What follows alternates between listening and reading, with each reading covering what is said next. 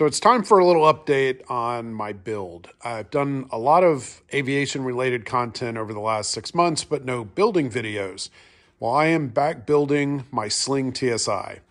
I am in my new to me hangar, which still has a lot to be desired. It's a work in progress. It's still a disaster, but I'm making progress. So I have my crates of all my build materials here Still waiting to be unboxed and put on my big parts wall. Um, I have a dry erase board. I have just my normal tools. I've started insulating the hangar, the walls. I have an air conditioner. It's a little wonky, but I do not have a heater currently. So I'm probably going to put a mini split in sometime later in the year.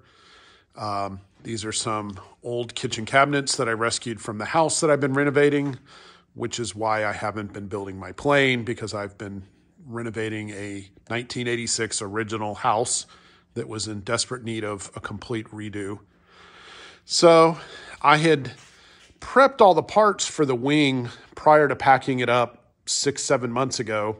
So I was able to put all this together in two days and get it all riveted I still have a few little things to do, but I'm ready to start uh, with the skins, the bottom skin today.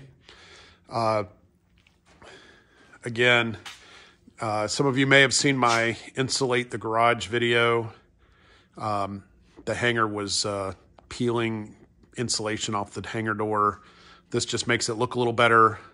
I put a bunch of weather stripping in and uh, got so that the air doesn't just flow freely through it anymore. Uh, that's my trash pile. Some trim I still have to install on my kitchen cabinets in the house.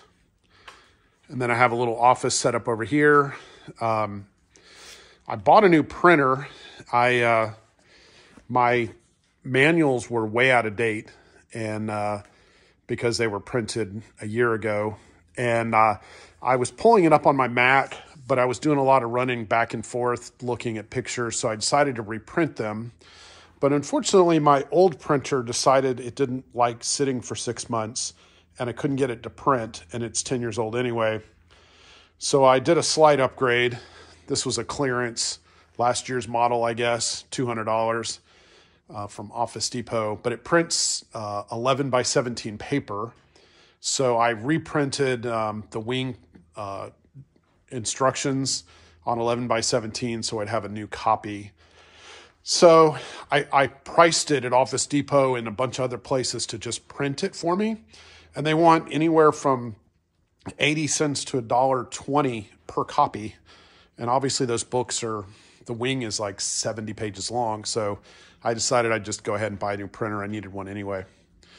So uh, the rest of my hangar, uh, again, that's a, that's a parts board, my crates that I'm still unloading. I have a mobile parts board that I had from my last garage where I had a lot less space. Um, I have a refrigerator over there in the corner. And then I have my movable parts board.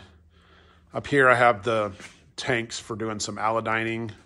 Um, I'll be starting on the other wing and um, doing alodining for the uh, all the rib parts. So that's pretty much it. Um, back to building. I'll uh, start dropping regular build videos uh, here shortly. I will have to say probably the hardest thing um, was was these little burgers right here. the um, trying to get the rivet gun in there to do those was uh, kind of a challenge, and I think I used every tool I own to try to make it work. So uh, I have a uh, a special tool that bends rivets slightly so you can you can hit them at an angle. I was using my my right angle drill uh, and a lot of patience. I used my hand riveter, my my Stanley ProSet XT2, which barely will pull these uh, these big rivets here. Um, so those were a bit of a challenge.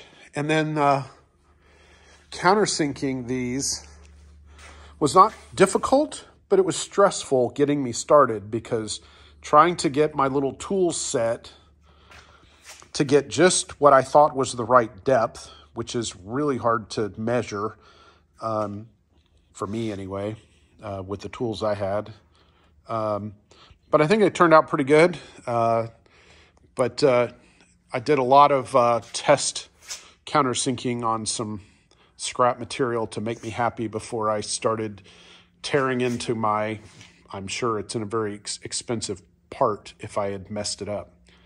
So anyway, that's the wing.